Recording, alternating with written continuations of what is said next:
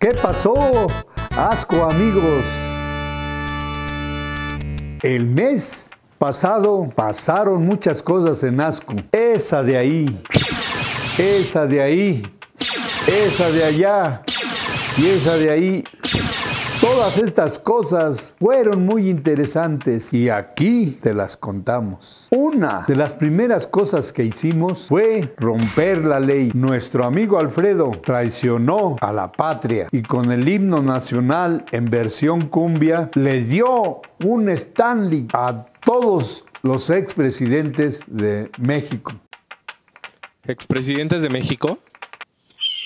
Esos pillines, Manuel Ávila Camacho. Agregar unos buenos lentes, ¿no? De pasta, como ya se empezaban a ver. Soy presidente, sí, pero también puedo tener una banda. Sí, hasta ese tan horrible que ya sabemos quién es. Pueden ver el video aquí. Cuidado, se está yendo. Ya se fue. No es cierto. No lo pueden ver aquí, pero lo pueden ver en los comentarios. Como todos los videos que van a estar aquí. Y hablando de poder y de ese antiguo partido político si ese en el que estás pensando, hicimos un ejercicio en Twitter para poder determinar el carácter de Claudia Sheinbaum. Y Qué sorpresa que muchos de ustedes se nos unieron en este bello ejercicio. Claudia Sheinbaum era la chava que en la prepa esperaba al profe. Más de 30 minutos. Claudia Sheinbaum era la niña que te acusaba con su mamá. Y al otro día la mamá iba a hacerla de apedo. Claudia Sheinbaum era la niña que la maestra la ponía en el pizarrón a anotar a los niños que estuviesen parados o platicando. Y sí te anotaba. Pero bueno,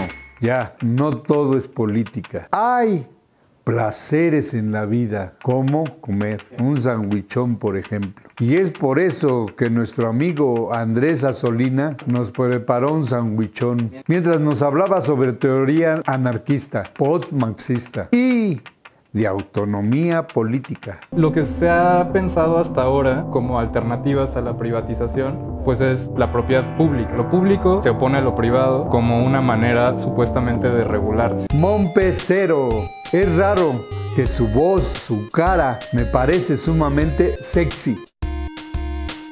Ese hombre se ve agradable para un café y una buena charla. Sebastián Delgado, muy informado y todo, pero no se informó que ya existe el pan bimbo sin orillas. Ya ves lo que dicen, Sebas. Bueno para el petate, malo para el metate. Miren, un bobo esponja con lentes. Y hablando de belleza, hicimos una aplicación muy exclusiva a nosotros que nos gusta cuidarnos. El self-caring, styling, el make-up. Y la subimos a Instagram, nomás para que tengan un taco de ojo. P-S-E-F-R-N-G, estas vibras combinadas de mi alegría con jueguito de internet de Barbie me resultan muy agradables. Nos gusta cuidarnos porque nos gusta vernos en el espejo, en otras cosas. Y sabes, ¿a quién también le gustaba verse? A la pintora que pintaba más feo de todo México, Frida Kahlo. No es cierto. En los últimos años hay una idea que se ha popularizado que vemos mucho en memes y en comentarios en las redes. Frida Kahlo pintaba mal. Pero ¿tiene sentido todo esto o solamente estamos proyectando nuestros prejuicios en ella? No pintaba nada feo y te lo explicamos en este video. Un video muy informativo. Mira, agárralo, rápido, se está yendo, rápido. Bueno, ya sabes, aquí en los comentarios, descripción o lo que tú creas.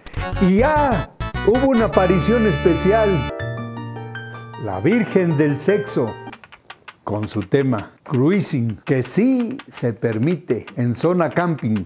Pero Willy, ¿cuál es el cruising? Ah, es una práctica de ligue homosexual. Pero ¿sabes qué? Mejor que te lo explique la Virgen del Sexo. Solo en Asco Com. Gabriel Barajas, educativo, cagado, educarado. Y bueno, eso hubiese sido todo por este mes. Pero había una pregunta que me carcomía todas las noches y decidí que este mes era el adecuado para responderla. ¿Realmente existe Tlaxcala? Lo descubrimos en el último episodio de Wild Wild Willy, la serie que te lleva por todo México a través de los lugares más bellos que han visto mis ojos.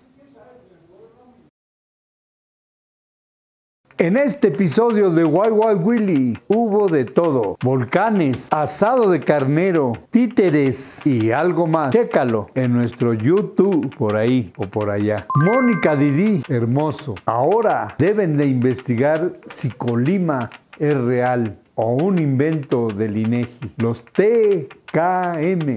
Un paso a la vez, Mónica. Un paso a la vez. Carlos Yael, Detective Willy, ¿cuánto cobra por buscar a mi papá? Pues Carlos, si tu papá está en Querétaro, te podría salir más barato de lo que crees.